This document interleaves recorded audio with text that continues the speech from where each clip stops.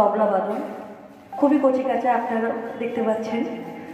ওরা অনেক দিন না হলেও কিছুদিন আমার কাছে তারিখ চলছে ওদের। যতটা শিখেছে ওদের ওদের মানে যতটা শেখানো হয়েছে এখনও পর্যন্ত, তার উপরই রেখে কিছু করা হয়েছে। এটাকে তবলা বাদনই বলব, শুধুমাত্র কেন ওরা এখনও পর্যন্ত হস্ত সাধন প্রণালী আমাদের যখন শেখানো হয় একদম প্রারম্ভিকে ওরা এখনও পর্যন্ত সেই জায়গাটাতে রয়েছে তো সেই হস্তসাধন প্রণালীগুলোকে কিছু সাজিয়ে নিয়ে ওদেরকে তৈরি করেছি যে তে তে তে তে তে তে তে গে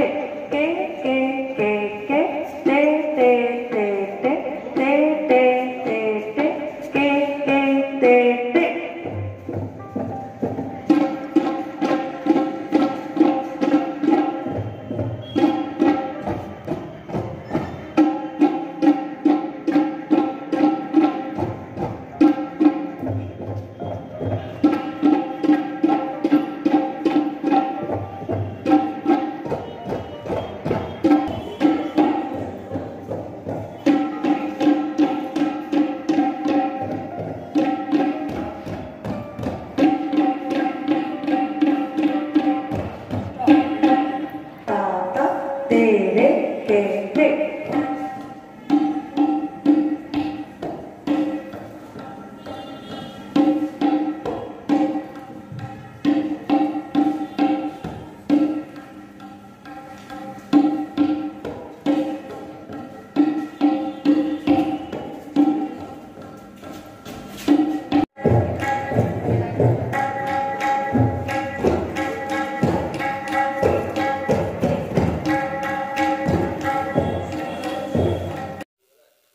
বর্তমানে আমরা একটা কঠিন সংকটের মধ্যে দিয়ে যাচ্ছি। একটা অস্থির সময়, যে সময় ছেলেমেয়েরা অস্থিরভাবে নানা দিকে ছুটে বেড়াচ্ছে, কোনো নির্দিষ্ট ভালো দিকে কনসেন্ট্রেট করতে পারছে না। এই সময় সুরবাহার যে উদ্যোগ নিয়েছে, এটাকে আমরা বুক ভরা আশীর্বাদ দিয়ে স্বাগত জানাচ্ছি। সুরবাহার গত ছ বছর ধরে, সাত বছর ধরে কাজ করছে এবং এর মাধ্যমে অসংখ্য ছেলেমেয়ে তারা তবলা থেকে আরম্ভ করে উচ্চাঙ্গ সঙ্গীতের শিক্ষা নিচ্ছে এবং তারা ক্রমশ এগোচ্ছে। এবং বেশ কয়েকটি ছেলেমেয়ে তারা নানা দিকে নিজেদের বিকশিত করেছে এবং তারা ক্রমশ এগিয়ে যাচ্ছে। আজকে যে অনুষ্ঠানটা হচ্ছে, এটা সপ্তম বর্ষের অনুষ্ঠান এবং তাতে অনেকগুলো ছেলেমেয়ে তারা নিজেরা অংশ নিচ্ছে। তবলা বাদনের থেকে আরম্ভ করে, উচ্চাঙ্গ সঙ্গীতের থেকে আরম্ভ করে অন্যান্য দিকে। আমরা শুধু ওদের স্বাগত জানাচ্ছি না, আমরা বলছি যে ছেলেমেয়েরা পড়ার ফাঁকে ফাঁকে এই সব বিষয়ে যত নিজেদের নিয়োজিত করবে, তত তারা তাদের পরিবারের মধ্যে একটা ভালো আবহাওয়া তৈরি হবে। সমাজের মধ্যে আবহাওয়া তৈরি হবে এবং আমরা সবাই ভালো থাকব। তাই সুরবাহারকে আমাদের আন্তরিক অভিনন্দন, আন্তরিক আশীর্বাদ।